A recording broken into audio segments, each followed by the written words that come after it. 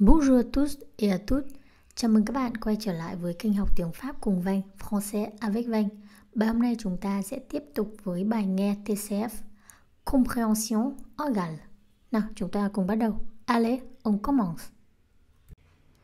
Bốn đáp án lựa chọn của bài hôm nay như sau.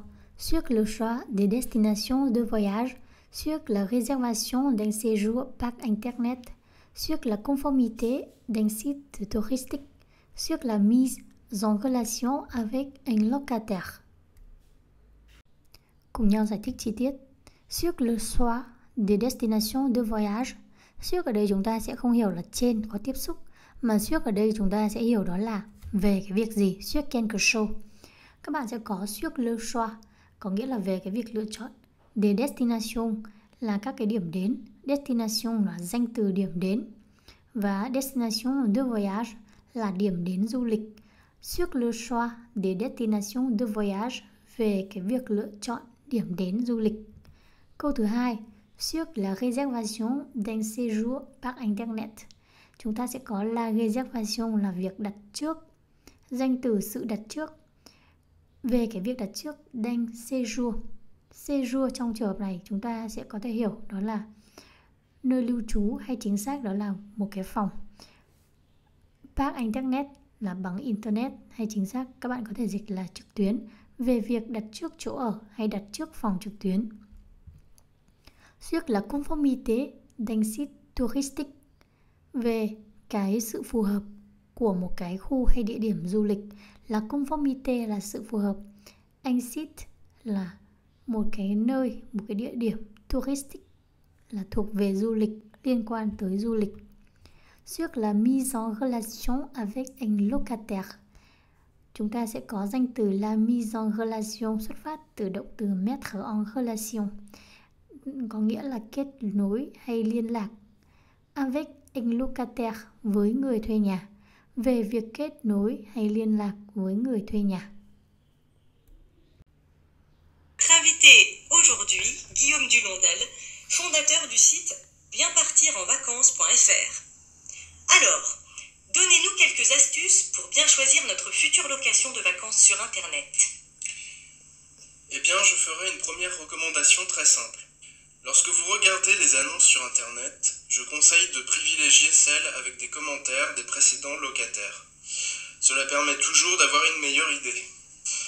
Ensuite, il est préférable de contacter le propriétaire par téléphone et demander des précisions sur les équipements, les distances, l'environnement pour vous assurer que l'hébergement correspond bien à ce que vous voulez. Enfin, n'oubliez pas de demander l'original de votre contrat de location par courrier. Sur quoi Guillaume Dulondel intervient-il? Bây giờ chúng ta sẽ cùng nhau đọc chậm để có thể nghe rõ hơn. Notre invité aujourd'hui, Guillaume Dulondel, fondateur du site bienpartienvacances.fr. Alors, donnez-nous quelques astuces pour bien choisir notre future location de vacances sur Internet. Eh bien, je ferai une première recommandation très simple. Lorsque vous regardez les annonces sur Internet, je conseille de privilégier celles avec des commentaires des précédents locataires. Cela permet toujours d'avoir une meilleure idée. Ensuite, il est préférable de contacter le propriétaire par téléphone et demander des précisions sur les équipements, les distances, l'environnement pour vous assurer que l'hébergement correspond bien à ce que vous voulez. Enfin, n'oubliez pas de demander l'original de votre contrat de location par courrier. Sur quoi Guillaume Dulondel intervient-il? Bây giờ sẽ cùng nhau lý giải chi tiết từ vựng của bài nghe. Fondateur du site bienpartienvacances.fr Người sáng lập trang web bienpartienvacances.fr Chúng ta sẽ có fondateur là người sáng lập, du site có nghĩa là trang hay địa điểm, ở đây là trang web bienpartienvacances và dấu chấm chúng ta sẽ đọc thành point và fr các bạn sẽ đọc thành fr fondateur du site bienpartienvacances.fr Alors, donnez-nous quelques astuces pour bien choisir notre future location de vacances sur Internet. Alors, nào, hay vậy thì donnez-nous hãy chia sẻ chúng tôi, đưa ra cho chúng tôi. Động từ donner có nghĩa là đưa ra. Quelques astuces, một vài mẹo. Pour bien choisir, để lựa chọn tốt hơn. Biêng ở đây nhấn mạnh vào choisir. Notre future location de vacances cho những cái địa điểm nghỉ dưỡng, địa điểm thuê để nghỉ dưỡng trong tương lai trên siếc internet trên internet có nghĩa là ờ, ở đây hãy đưa chúng tôi chia sẻ chúng tôi một vài mẹo để có thể lựa chọn địa điểm nghỉ dưỡng trong tương lai tốt hơn. Eh bien, je ferai une première recommandation très simple. À, tôi sẽ je ferai chính là động từ faire chỉ ở conditionnel présent. Ở conditionnel présent thì có nghĩa là sẽ đưa ra một lời khuyên. Ở đây ferai une première recommandation chính là đưa ra một vài lời khuyên, một lời khuyên đơn giản hay một cái khuyến nghị đơn giản, très simple là đơn giản. Locker, trong khi vous đê, các bạn xem, các bạn nhìn les annonces, những cái thông báo trên internet. Khi các bạn xem các cái quảng cáo, các cái thông báo trên internet, je conseille, tôi khuyên de privilégier, tôi khuyên là ưu tiên sen avec des commentaires des précédents locataires. Động từ conseiller de faire quelque chose là khuyên làm gì.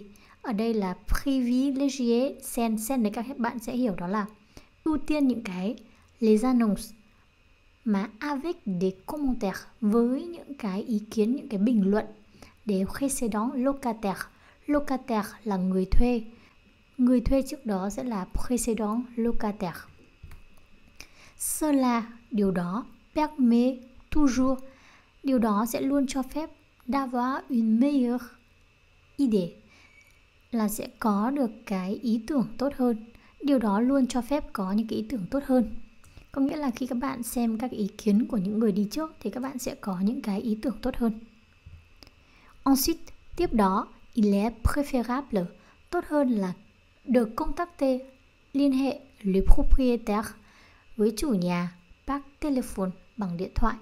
Chúng ta sẽ có cấu trúc là il est préférable de faire quelque chose và contacter quelqu'un là liên lạc với ai, liên hệ với ai. Et demander des précisions. Demander có nghĩa là yêu cầu, précision đó là sự chính xác, những cái thông tin chính xác và đề nghị yêu cầu những cái thông tin chính xác trước là về les équipements về trang thiết bị les distances, khoảng cách, l'environnement, về môi trường. Pour vous assurer que, để đảm bảo rằng, để chắc chắn rằng hay để check, để kiểm tra rằng, chúng ta sẽ có động từ s'assurer que. L'hébergement là cái nơi ở correspond tương đương hay là khớp. Chúng ta sẽ có động từ correspondre bien à ce que vous voulez là tương đương hay khớp với cái điều mà bạn muốn. Động từ correspondre à quelque chose. Enfin cuối cùng n'oubliez pas đừng quên de demander yêu cầu l'original de votre contrat, bản gốc của cái hợp đồng. Contrat de location sẽ là hợp đồng thuê par courrier, qua thư hay qua bưu điện. Và chúng ta sẽ có động từ oublier de faire quelque chose. Quên làm cái gì? Ở đây chính là đừng quên yêu cầu cái bản gốc hợp, bản gốc của hợp đồng thuê qua đường bưu điện. Nội dung tiếng Việt chi tiết của bài hôm nay như sau. Vị khách mời của chúng ta hôm nay là Guillaume Dillongden, người sáng lập trang web bienpartillonvacances.fr. Nào hãy cho chúng tôi một số mẹo để chọn chỗ thuê cho kỳ nghỉ trong tương lai trên Internet. Chà, tôi sẽ đưa ra một khuyến nghị đầu tiên rất đơn giản.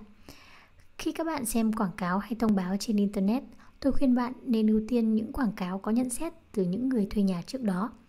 Điều này luôn cho phép bạn có một ý tưởng tốt hơn. Sau đó tốt nhất bạn nên liên hệ với chủ nhà qua điện thoại và hỏi chi tiết về trang thiết bị, khoảng cách, môi trường để đảm bảo chỗ ở phù hợp với mong muốn của bạn. Cuối cùng, đừng quên yêu cầu bản gốc hợp đồng thuê nhà của bạn qua thư qua bưu điện.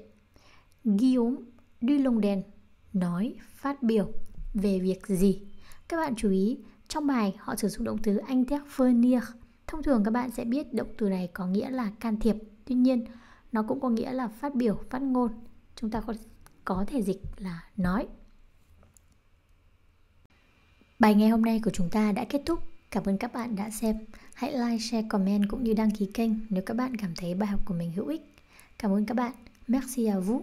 Au revoir et à bientôt.